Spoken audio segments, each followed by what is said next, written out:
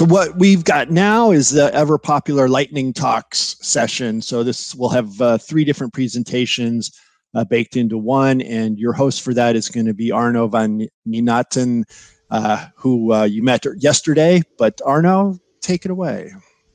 Yeah, thank you, Alex. So welcome to the Lightning Talk session at the Tridion Expert Summit uh, North America. My name is Arno van Minaten, and I'm the product manager for Tridion Sites. Uh, in the next 45 minutes, we can enjoy three different short talks about Tridion. Uh, so make sure you post your questions in the chat box during the talks, because if time permits, we will have a live Q&A at the end of all the three presentations. Uh, otherwise, the speakers will answer your questions in the chat box itself. Uh, so let me introduce our speakers. Uh, Velu Arjunan will share tips and tricks about how to fine-tune the Tridion publisher and deployer for your specific setup. Uh, and we have a Jamstack presentation from Pankaj Gaur on how and when to use JavaScript, APIs, and markup web development architecture in combination with Tridion. Uh, but we will kick off the Lightning Talk session uh, with Alvin Reyes, uh, who will share his experiences and learnings about conducting successful discovery sessions. So over to you, Alvin.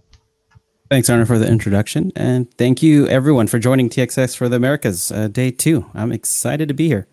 Um, in this session, Lightning will start strike twice. So let me go first, then Velu and Pankaj. The lightning bolt I'd like to leave in your brains today is to prepare you for your next discovery sessions to get more aha moments. And I'll explain what I mean by discovery and aha.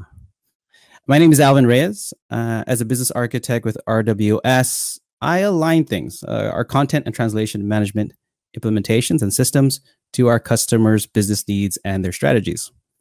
I've served as a consultant, project manager, business analyst, and product owner.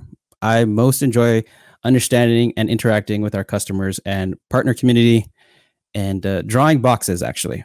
Uh, I'm back in San Diego, California, though I miss my friends and colleagues from the Amsterdam office. What kind of moment are we looking for? If you guys can guess, write something in chat. And this is an easy freebie. It's a aha moment. No, we're looking for aha moments. And if you can think of some, feel free to put some in chat for aha moments you've seen when talking to customers or working on something, uh, a project you have. So, an aha moment is when the light bulb goes on, a flash of insight, or some surprising detail you learn during a discovery session. I'll offer some examples. One that happens a lot is uh, those moments when someone doesn't realize we had a particular feature in our products, for example, where used, the blueprint viewer, or the checked out items list.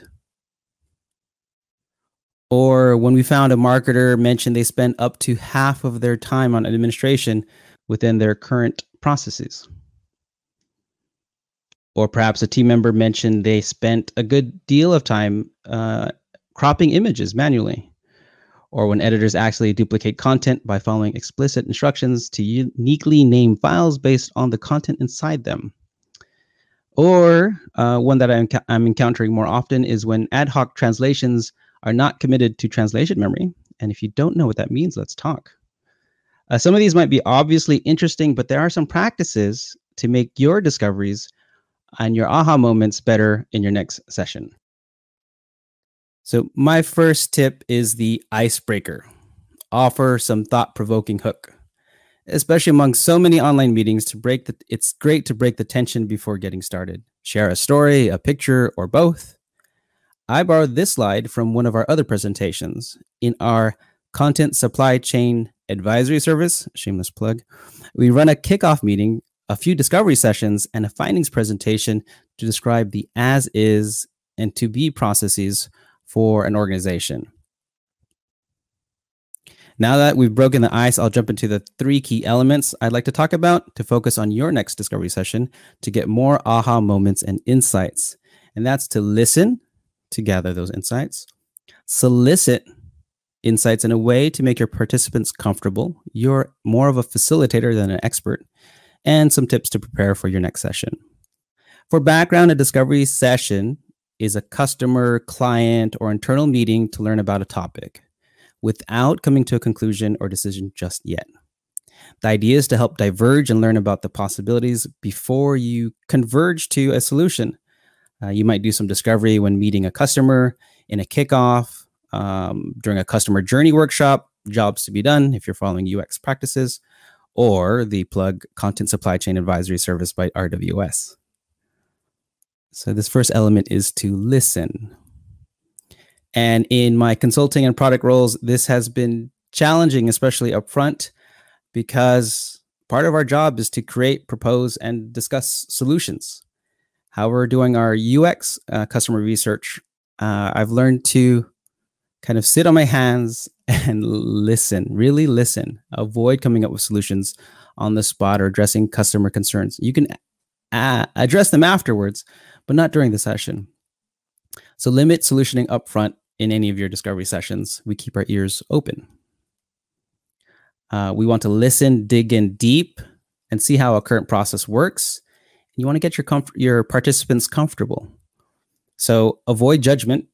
Um, you might ask why they do something, uh, but don't put a connotation on on whether what they're doing is right or wrong. It's just the as is process. Uh, you might ask them to talk out loud and describe pain points, um, but you'll do better by listening more. So limit what you suggest. Uh, be sure your fellow researchers and analysts avoid interrupting. They can save their questions for the end of a session and explain to your participants you're intentionally not answering. It's, it's kind of unnerving when you're talking and presenting and explaining something from the from your participant side and your facilitator isn't responding. So it's it's it's useful to explain that you're intentionally not trying to help or guide or, or bias your participant too much. Uh, to capture what you hear, it's great to take notes uh, live if you can pull it off. Uh, my colleague Rick Rasp also suggested active listening. So while you're taking notes and listening, um, clarify anything that's not clear. Yeah, you can do that uh, during the session. Uh, repeat what they meant, and then um, uh, ask any follow-up questions. So listen, take notes, clarify. And that brings me to the second point in my lightning talk, um, soliciting. And um, also part of the listening and between listening and soliciting is the recording part has I found has been optional. It's great to go back to recording, but in practice, and I've heard from others, if you're taking good notes and you have backup taking notes, you don't necessarily need to go back uh, to the recording or rewatch everything that you've just gone through. Um, according to a study by Linda Henkel of Fairfield University, taking pictures of an event can actually reduce your ability to remember details about what happened. So, not recording or uh, not intentionally saving your review for the recording um, can can help you focus in the moment while you're listening.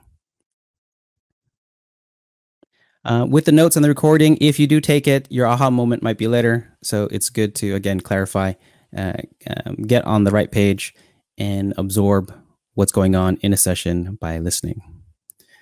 My next point is to solicit. So, solicit is the act of asking for something from someone in case, uh, in this case, the information you need to discover. So, whenever I hear on my kids' devices, like and subscribe, smash that notification bell, or when I tell someone to contact me about the content supply chain advisory service, that's soliciting. But in a professional environment, the ask of asking can be very hard. It's really hard to tell someone exactly how you're feeling, good or bad, in a professional work environment. Uh, people tend to uh, want to be helpful. They want to give an answer that you're looking for, um, especially if you ask a leading question. Um, sometimes people don't want to agree. Uh, they want to give you a hard time. And uh, sometimes people want to appear smart or geek out on a topic and get off track. So hold on, let me let me check chat if there's anything on uh, anything geeky to follow up on yet. No, not yet. Okay. So uh, for this, let me give some more tips for soliciting about being real, getting real, uh, being curious, lowering the stakes of your interview, and being subtly helpful yet thought provoking. Um, I also like to have some fun in solicitation. So, getting real. So, there's a difference between what someone says they do from what they actually do. And there's a difference between what you see on screen if someone's sharing and the user's full context. Uh, in our uh, supply chain advisory services, we focus on actual end users of the systems while using those systems. And in UX research, we found that an editor might have something like a post it note explaining what certain selections do in their components that control website themes. Uh, but we'll also learn that if you, you ask and probe and, and ask nicely, uh, they'll mention they've memorized the information on the post it note. Um, so it's not necessarily needed for their day to day. So you get those kind of insights when you're looking at more of the customer's full context, uh, balance against their comfort level. So if they're comfortable, they might share video so you can see their face. Um, audio is is definitely needed, and be calm. Take your time and don't rush. The insights will come when your participants are comfortable uh, with you and the session. Uh, be curious, but stay on track. So participants will respond to your tone, interest, and curiosity. You want to ask open-ended questions. Ask what comes to mind when you see something, but definitely get back on track. Uh, a good tip from UX colleague Luke Chen is to trail off to solicit more information from your participants. So you might go after you create the content, you and your hopefully your audience will fill in the blanks. You can also lower the stakes of, of the interview. Uh, UX researcher Daria and I made this mistake when one of our first research subjects for the Tridion Sites Experience Space UI felt like she was being tested. Uh, it was a little stressful. So it can help. It can help to distance yourself from the thing you're investigating. Oh, let's just look at this that that someone worked on, even if it, even if it was you. That's another good tip from Luke. Um, so since then, we've clarified what we are testing. We are testing experience. We're looking at the the as is. There's no right or wrong, and we are just trying to learn. Um, and it's not it's not on the participant. They're just they're just sharing what they do. It helps to provoke thoughts, and if you're careful, you can solicit ideas from a proposal or suggestion, like this one. We've I've used this to ask customers about their content uh, life cycle or content supply chain uh, this one's from from Daria as well. And then participants can fill in their blanks, but you have to be careful not to lead your audience and your participants too much in a certain direction because you'll get the answers that you're looking for. And finally, for solicitation, I like to have fun and ask some thought provoking questions. So, for example, if you had a magic wand, what would you want in the system? What pains would you want to get rid of? So these can be a good source of insights, but you really need to work up to uh, this kind of question. Build that trust and rapport, come across neutral and friendly, and make your participants feel like there's nothing wrong with what they're doing, even if it's even if something is obviously wrong. Um, and encourage them to to share what's going on in their minds, uh, how they're feeling, and if you can get, get your your audience comfortable, uh, they'll share a bit more. So let me wrap this up with a slide on a point with prep on preparation. And now I finally have bullets. So there's all images that I had to look for. Uh, set expectations up front. What's the session for? Is this research? Is this discovery? Uh, it's not a sales session or not troubleshooting. Um, it's not a confessional. I think RG has uh, used that one to describe how these sessions are not. Uh, who will perform what roles? So if it's just you, you have to be host, facilitator, and note taker. If you add someone, they can help you with notes while you ask the questions. You might add a subject matter expert, account representative, etc. But you also have to be careful on the roles. You'll have an active researcher, perhaps that's you, and then the gallery who are quietly observing and not, trying not to distract your participants. You can have the gallery ask questions and offer some insights at the end, but not during your discovery session. And finally, begin with the end in mind. Arjit's reminding me about this is that you come in with a point like for me, I want to get lightning into your brains to improve your discovery sessions get more aha moments. And hopefully we came up to with some insights here. Um, so prepare and ask those questions. You know, bring the list of questions with you to your sessions. In our content supply chain advisory services, we recommend and provide return on investment. If you take, for example, translation review, it will improve your process like so. But in order to get there, you need to ask those questions along the way. Who works on what? How often does content go back? How do linguists review? How do editors review what the linguists uh, return?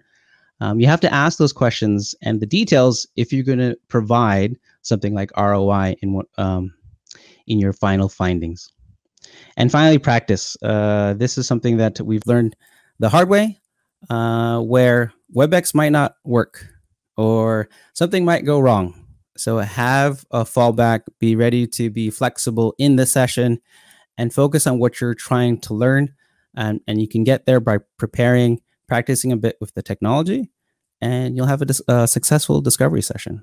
Okay. Hopefully that got you some small jolt to your TXS experience and day.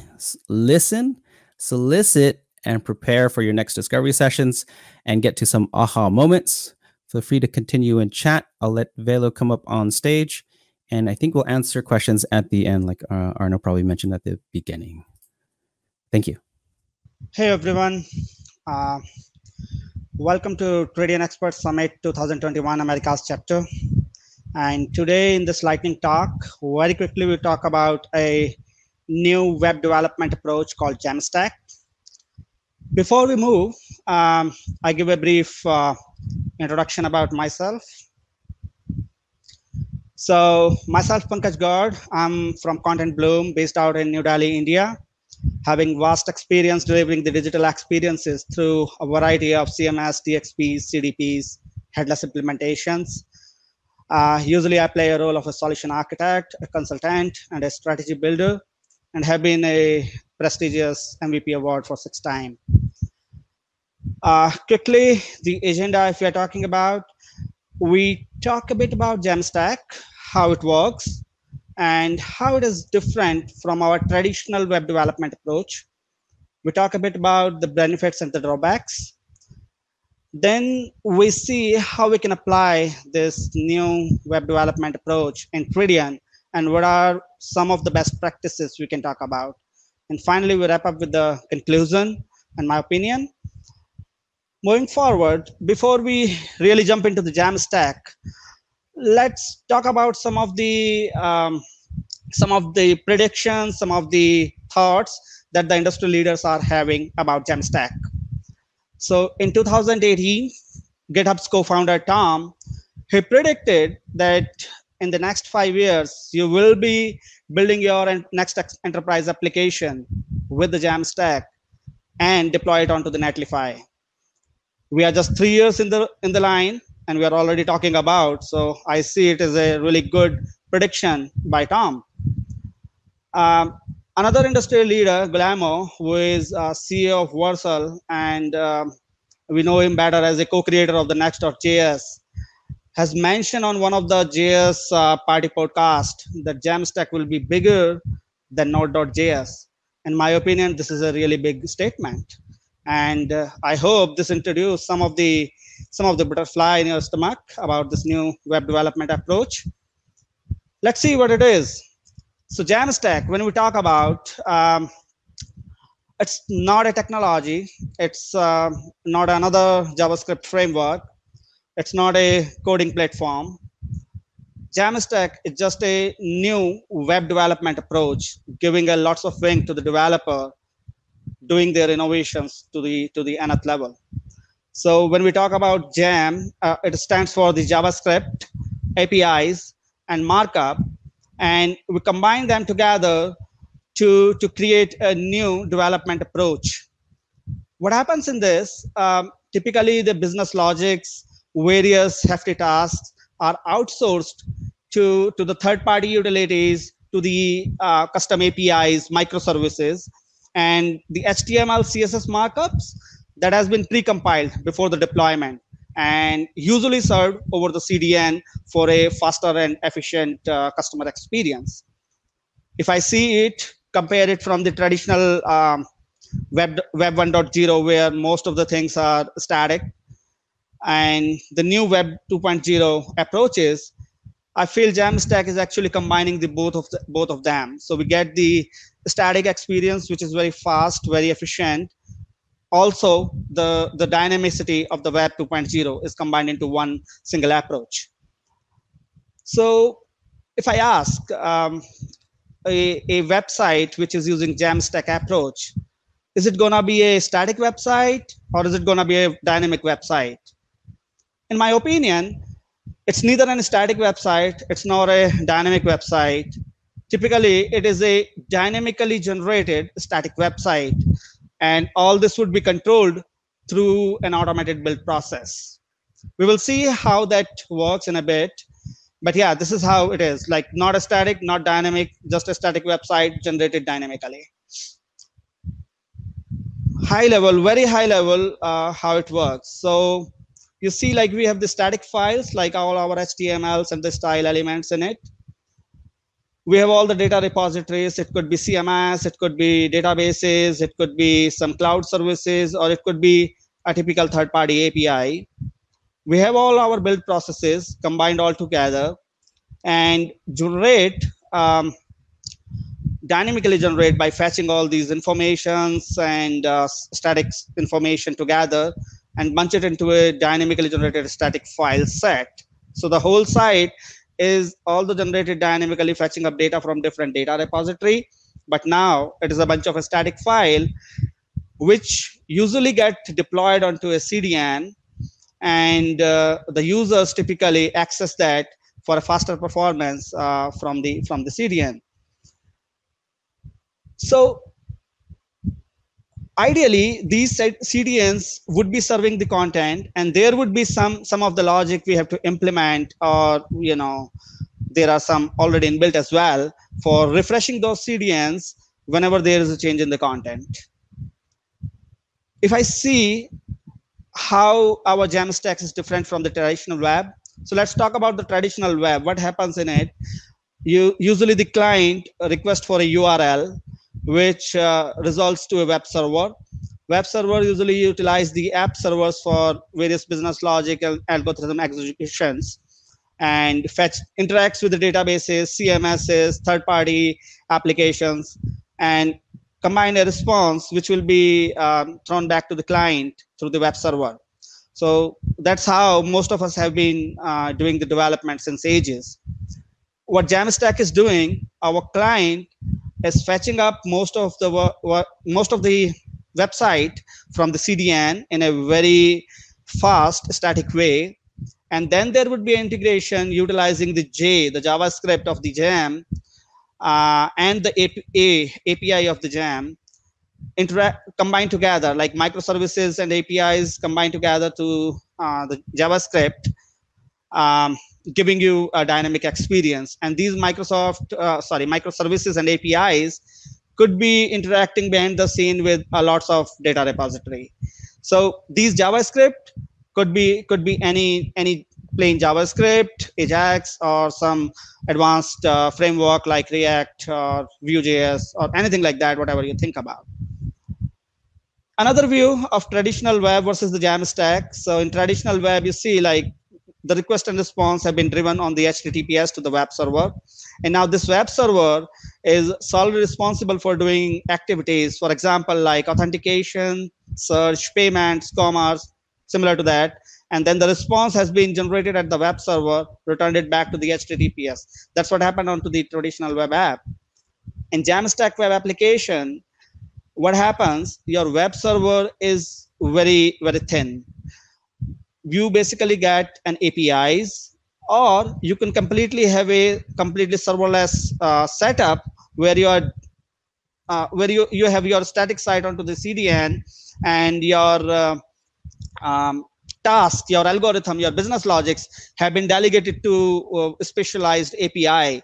So you can have the Auth0 for the authentication, Elasticsearch for the search, Stripe for the payment, Salesforce Commerce Cloud for the commerce, and all that information is being you know uh, taken up by the javascript of the j by utilizing these api architecture. Benefits if we talk about um, if we combine all this information together your uh, front server that is being uh, exposed to the you know to the public world is just contain the static information most of the time so it gives you a high security, even if somebody get into that public server, they're just getting the static site, nothing much.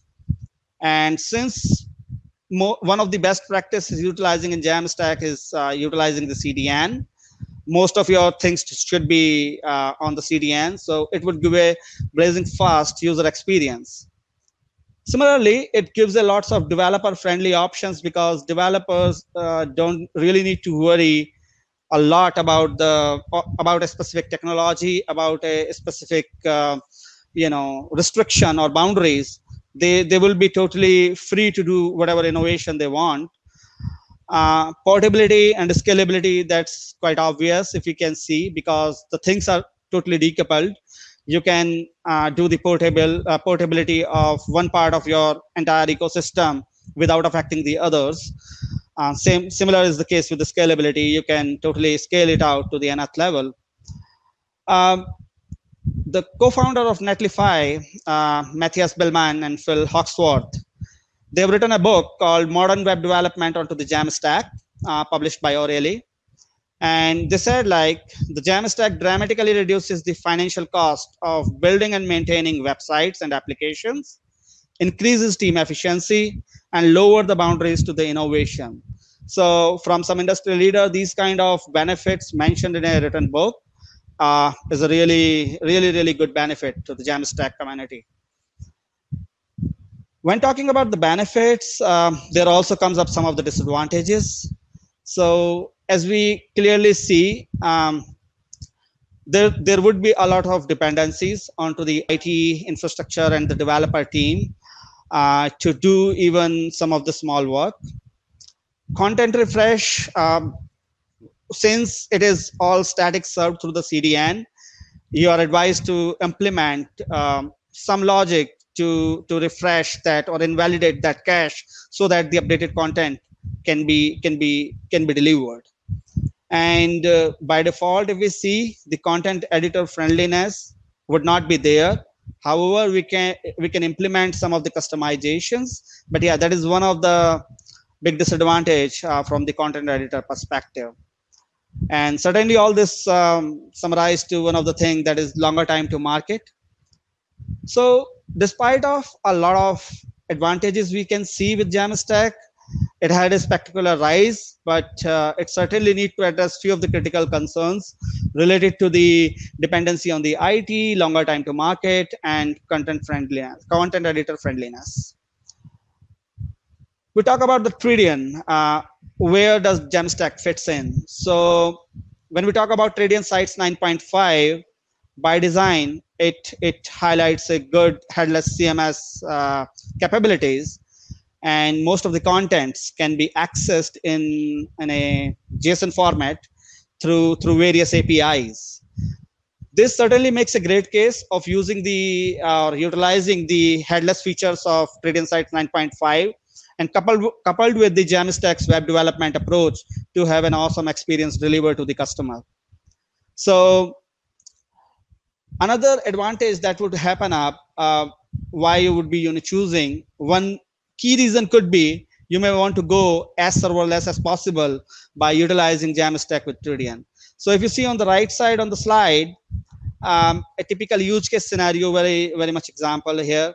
A client application would be there uh, could be react could be vue.js could be plain javascript ajax.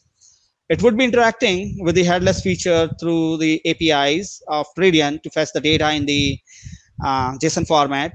You can also delegate your authentication processes to third parties like Auth0 and utilize their OpenID based authentication API to perform your authentication.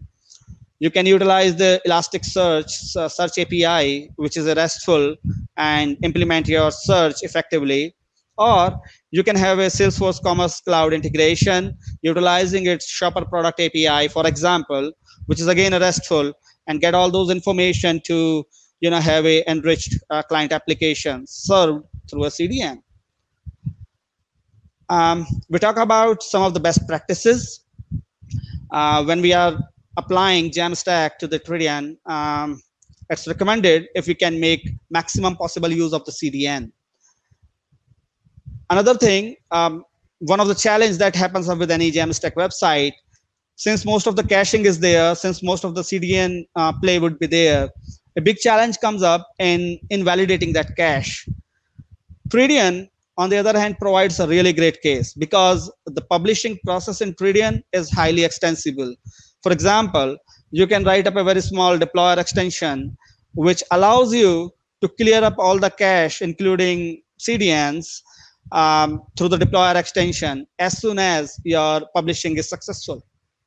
And if it has failed, you don't do anything. So that kind of a extension really provides a great value add to the Tridion and Jamstack. Um, another best practice, we choose to generate um, a static site with various ways, but it is highly recommended in Jamstack to utilize some modern static site generator tools like Gatsby, Hugo, and Next. Um, and uh, the deployments also, site generation and deployment builds, it is highly recommended to be automated rather than the uh, the manual ones to get the best uh, best out of the Jamstack. Another challenge and a very common miss with the Jamstack. Um, see, one of the problem happen up. Jamstack deployment uh, keeps growing exponentially on the addition of the you know the whole um, multiple features basically. So if you choose to have like a full build every time, after some time, uh, an year down the line, um, your your your builds or deployment becomes becomes really huge becomes really unmanageable so it's always recommended in a jamstack scenario to have the atomic deployments for a specific feature or for a specific set of functionality uh, another best practice would be to make full use of git and the and the features in the git like git flow to maintain all your you know codes and the features completely isolated. And you can have your git seamlessly integrated with with few of the tools static site generator tools and the deployment tool like netlify and having a direct deployment happening up from your git. So there won't be any any hiccups in the into the deployment or the misses one more thing that uh, we missed out when we work with uh, complexity and having focuses onto the site generation, onto the deployment, onto the builds.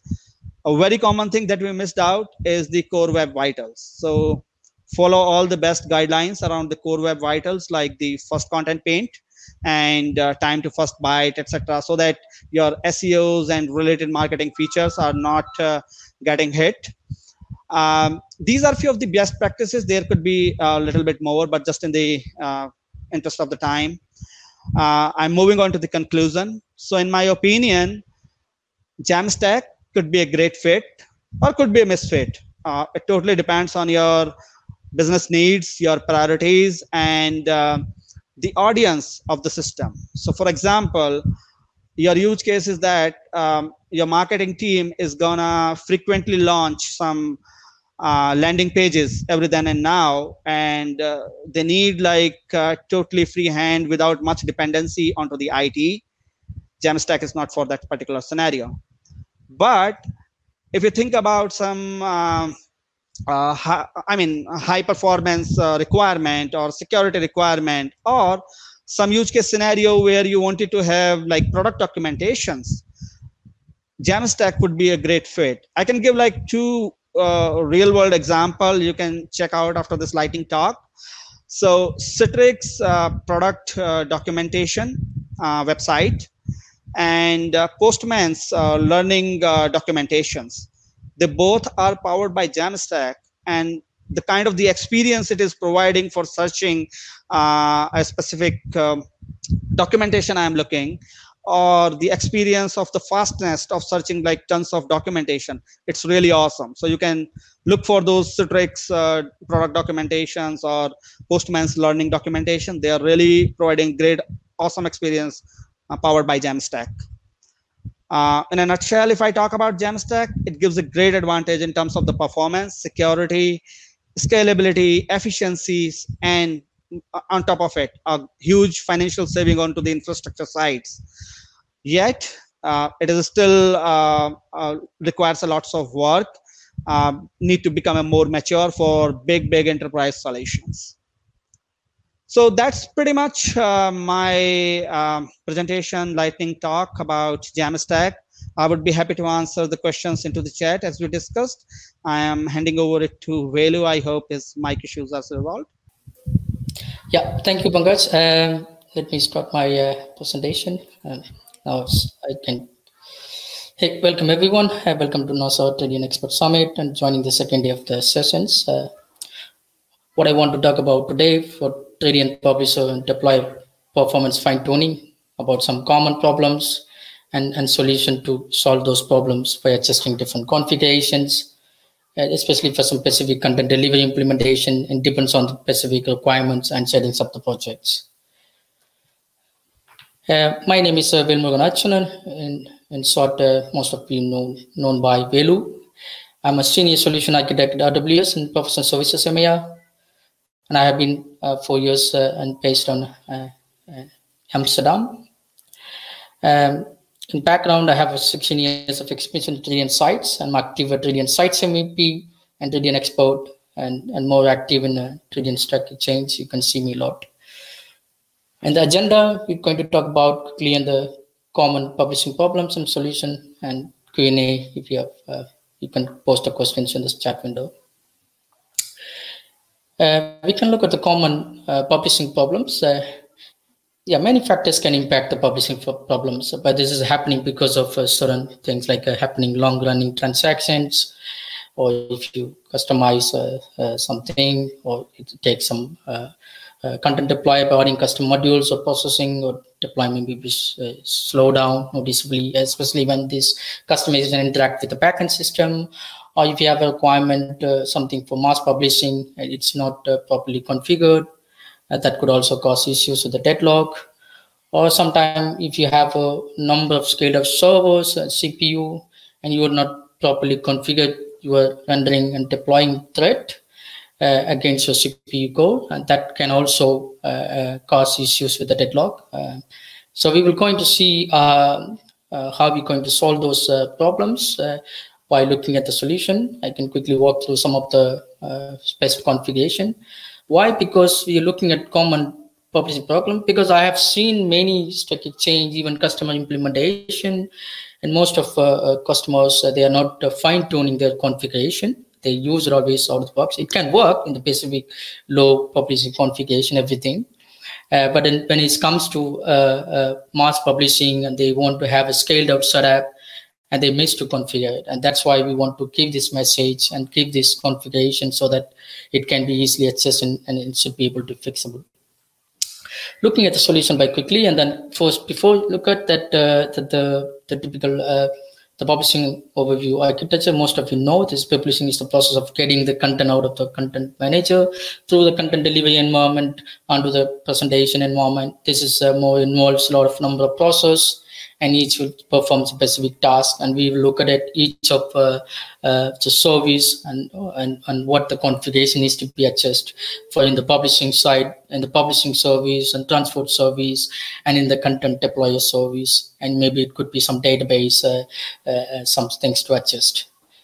Okay let's look at the publisher so uh, so uh, side. There is important things we need to understand in the number of the threads for deploying. Uh, there should be approximately, you should twice the number of CPU code as the number of rendering threads and the same number of uh, cores uh, transporting threads. If more threads are used, it typically no significant performance, it gains such But instead, it's better to scale out the publisher server.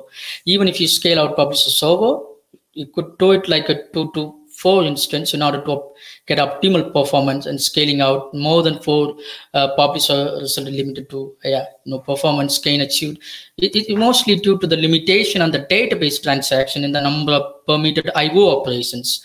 So that's why it's all it's all dependence right? It all depends on the, whether the yeah the it's it's a it's a publisher running in the uh, separate machine or running alongside the other services. So these are the things so but this is important rule. So if you have for example if you have a two uh, uh four cpu core and better you can configure a number of threads deploying for four and then the number of uh, uh, number of threads for rendering is eight. And you can adjust and fine tune it play around and make sure that you're not getting into the uh, the deadlock issue. You can you can adjust and play around Next, look at the, the transport service uh, uh mainly it, because it's important things. Uh, when you adjusting your your thread in the publisher num, publisher thread and the rendering thread, and that's also has some dependence with the worker thread configuration because this is needs to ensure that because the transport processor tracks more packages at the time. But most of the time, it's a default. Its value set in the in the five worker threads.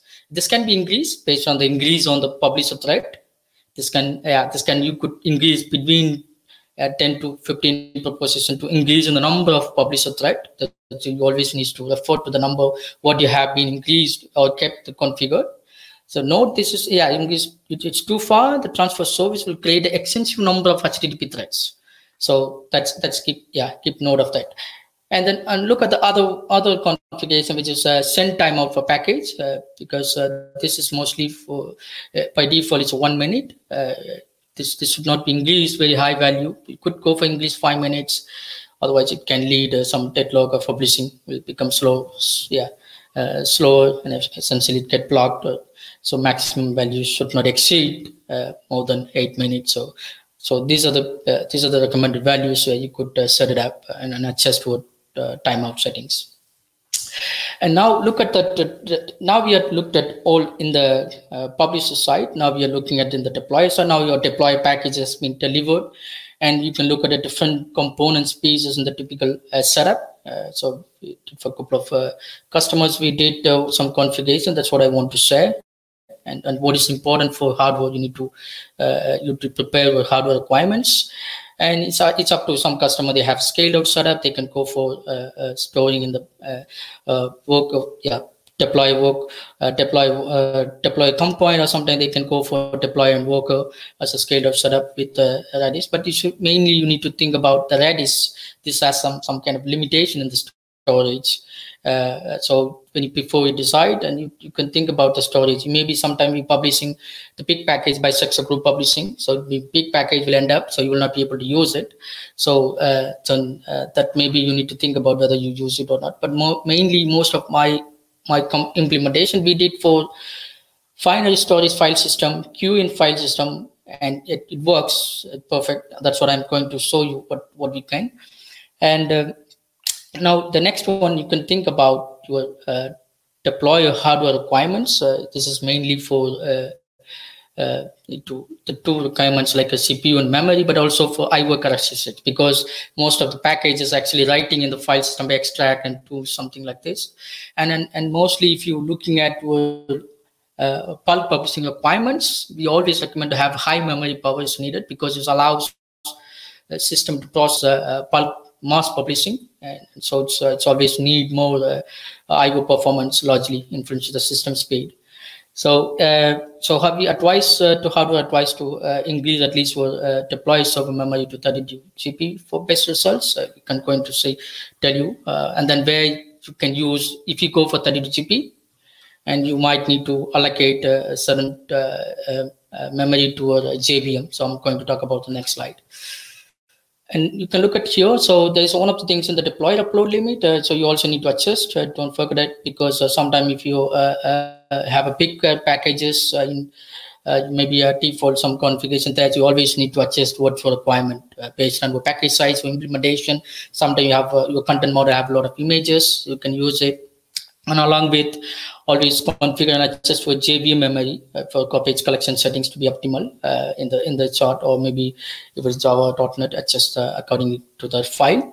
And in general advice, as I mentioned in the previous one, if you go in for 30 GB memory server with allocate 20 GB dedicated to a deploy JVM memory, it works best result. Uh, we have seen it, so it's it's uh, it works for that.